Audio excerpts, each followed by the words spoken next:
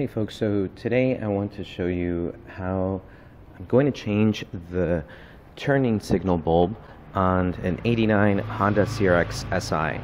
It's pretty much the same thing as uh, changing the side marker, uh, side marker bulb. I have to pull this thing out this way, um, but I want to show you uh, how to do that. The other thing I want to do is show you this website, which has been really helpful for me. And I'll just kind of show you a printout here. Um, it is uh, uh, superbrightleds.com. And what it has helped me do is find the actual stock number for the bulbs that I need. And, you know, that way I can get the LED version. So, um, in previous videos, I mentioned the change of the side marker bulb, which is stock number 168, and I can give you a link uh, in the description on how to get some really good LED bulbs for that. The uh, turn signal bulb is a different stock number, and when I come over here and take a look at it, uh, the front turn signal light bulb is uh, number 1156. So I'm going to change that up and uh, see how it goes. So I previously made a video where I showed the changing of this side marker bulb on an 89 Honda CRX SI.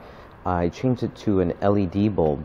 And one thing that I noticed is that I, I took this bulb out as well, the turn signal bulb, and it seemed to be the same uh, model or type of bulb. So what I wanted to do is change out the turn signal uh, bulbs in this video and show you uh, the actual type of bulbs and see how they work. Um, another thing I want to show is sometimes people aren't sure how to actually take out this kind of side marker housing. And so we have two screws here that require a Phillips screwdriver. And I want to show you with flashlight it, this thing pops out this way and you see these little plastic tabs there. And these fit right in here. So we have one here and, and we have another one here. So what I end up doing I'm just going to put this back in like this is finding where that is using a, and I use a flat screwdriver to pry it open. So just show you. I'll just kind of mock it up here. Um, I put my flat screwdriver right in here and I find that that spot I pry it open and out it comes like this. May need a little bit of leverage. You just want to make sure maybe put a towel or rag here so you don't scratch your your paint. Um, and out it goes just like that. So I've already removed this housing here and just kind of show you the bulb Here's the bulb and it looks a lot like the 168 type of bulb. So I'm going to replace it with uh, the LED bulbs that I have. And in my previous videos I showed you that I ended up buying a, a, a 10 pack I believe. Yeah a 10 pack of these LEDs which have been working. Have been working really well.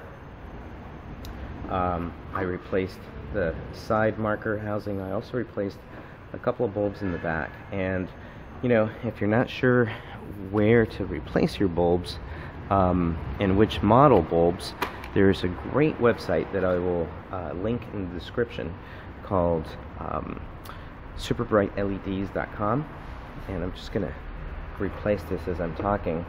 There we go right in here. There we go. And that's superbrightleds.com I'm just gonna stick this in here There we go. Easy as that. That superbrightleds.com um, just gives you the type of bulbs that you'll need um, in order to replace your regular bulbs with LEDs. Um, you know, I want to keep the original housing, so that's why I'm just replacing the bulbs. Um, I, I didn't pop this in all the way because I want to check this and uh, see if that bulb actually works. So I'm going to turn the car on and um, turn on the, the left turn signal and see what happens here.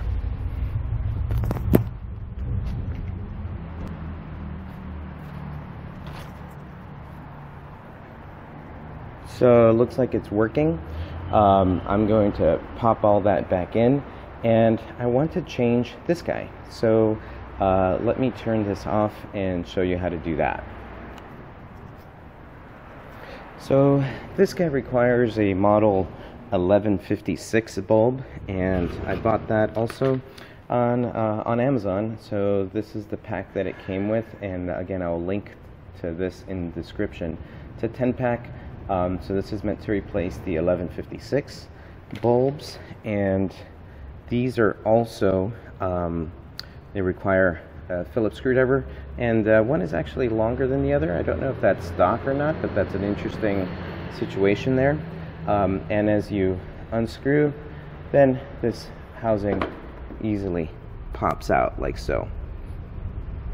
Um, when I take this thing out oh, just there we go. There's my 1156 bulb and I believe I press it in and I push it out. The bulb still works. I just want to replace these with LEDs um, and let's just open up the packet.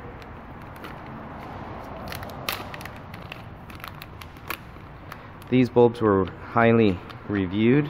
Took me a while to find something that I was comfortable buying.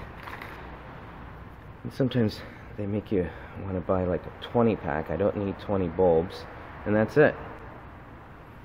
So just kind of pushed it in. There we go. Let's pop it into the housing again. There we go. Uh, looked a little too easy, but there, that was it. So I'm going to pop it in. I'm just taking a look right here and kind of figuring out okay which screw did I need where? I'm assuming the long screw was on the right. And just gonna pop this in. I'm not gonna screw this in just yet. I want to test I want to test first. A little bit of trouble. There we go. I think the, the cable housing was just stuck there so I'm going to test this first, uh, see how the lights work when I turn the signals on. So this is an interesting situation. When I change the LED bulbs, it flashes a lot quicker. So I wonder if I need to do some sort of relay issue, some if there's some sort of relay issue here. I wonder if I'm going to blow a fuse here, but it looks like um, they work. So I'm going to look into it and see what's going on here. So what I did here is I went back and replaced the 1156 bulb uh, with the original bulb and I went back and tried the turn signal and looks like this one this one is still the LED bulb uh, this one right here still the LED bulb it looks like it went back to flashing at its original flash rate so something about putting an LED bulb in here that really changed that flash rate. I wasn't too crazy about how fast that was uh, uh, blinking, so I went back and replaced this guy with with the uh, normal bulb. You can see it there, just a normal regular bulb in there. Um, until I figure out why it flashed so fast. But I'm going to uh, go back and, and use these 1156 bulbs for other areas, the rear. I think there's some rear turn signal uh, bulbs that need to be replaced. I'm going to do that and see if it flashes fast uh, still.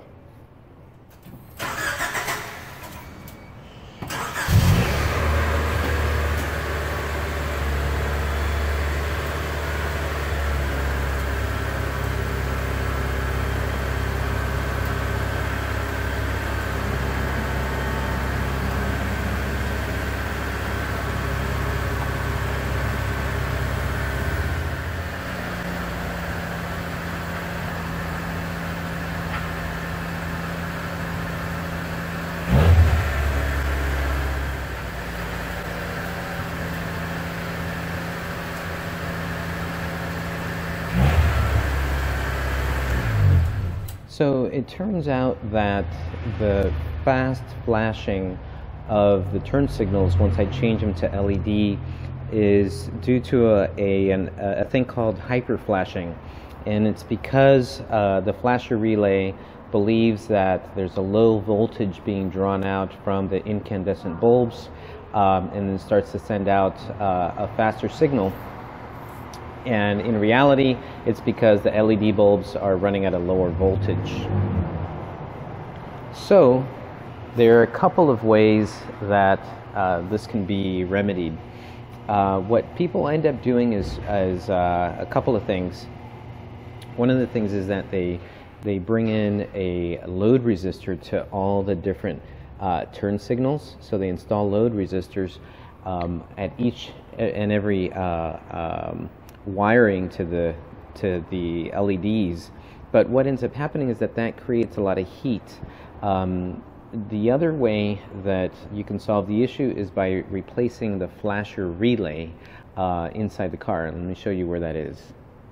So this is the cover, and sorry it's a little dark in here, but this is the cover to the fuse box. And um, here's the underneath of the 89 CRX SI. And right, right behind these wires, we've got the flasher relay. I actually removed it already.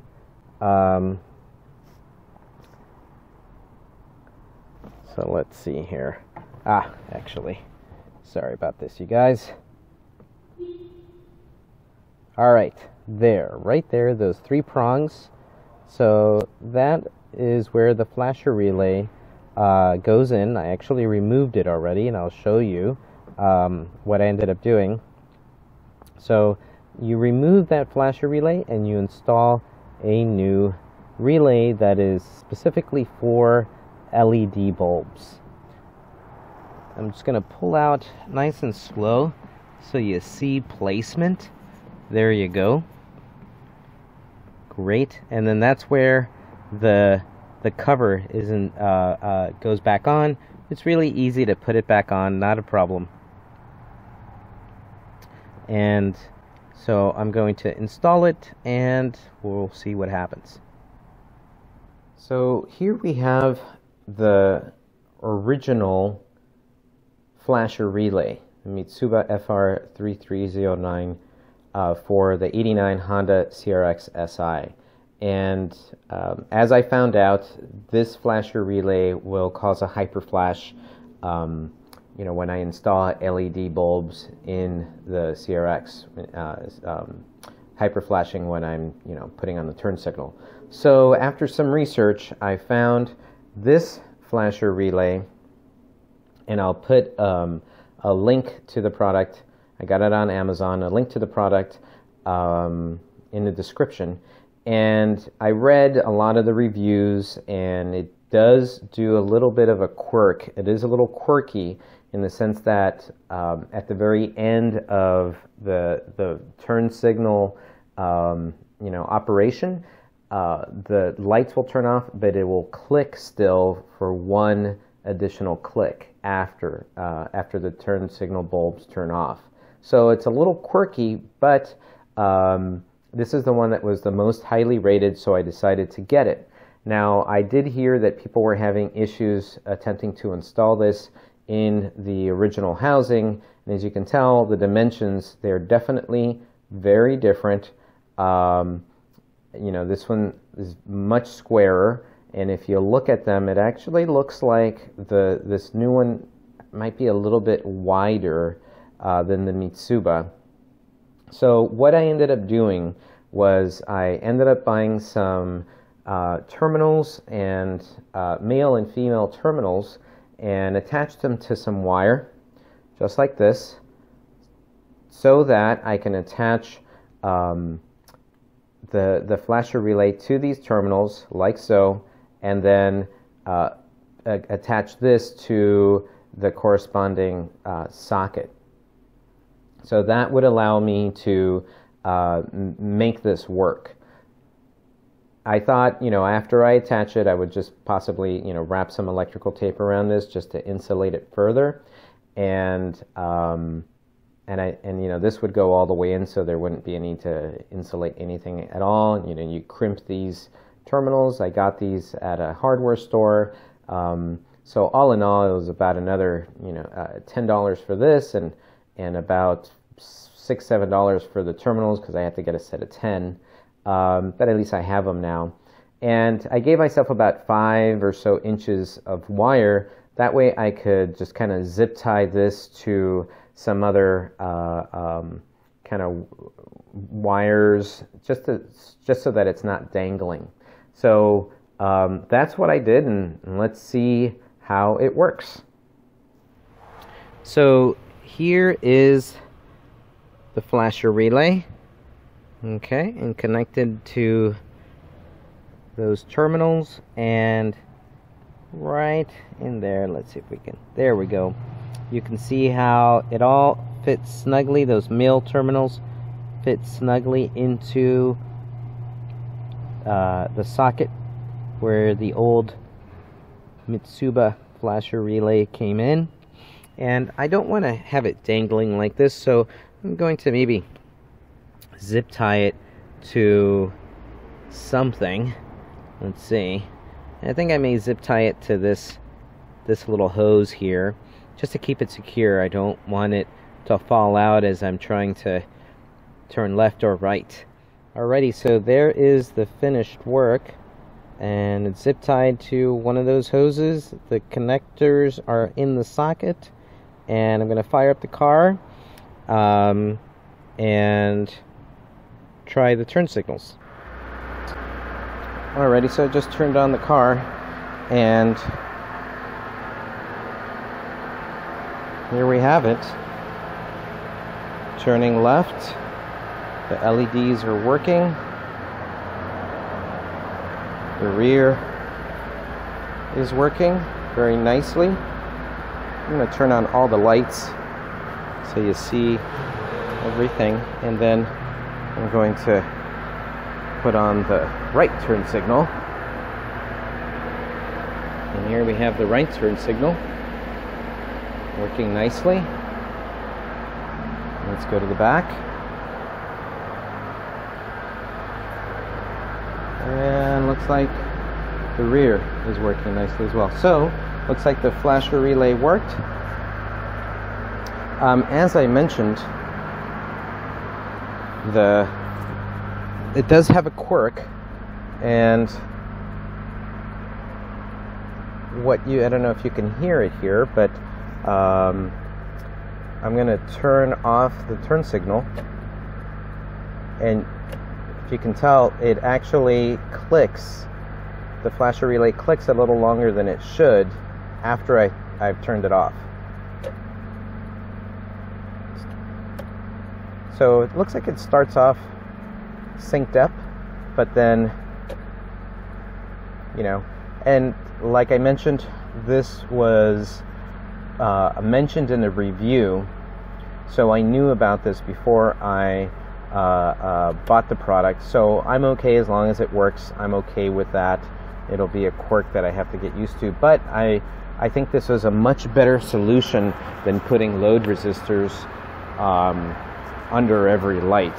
You know, I think it's an easier, quick, uh, quicker fix and an easier fix. And uh, I had to get a few wires and you know adapt it to my uh, the the uh, the old flasher relay configuration, but seemed like it worked, and so there you have it. All right, folks. I hope this helped. All right, bye.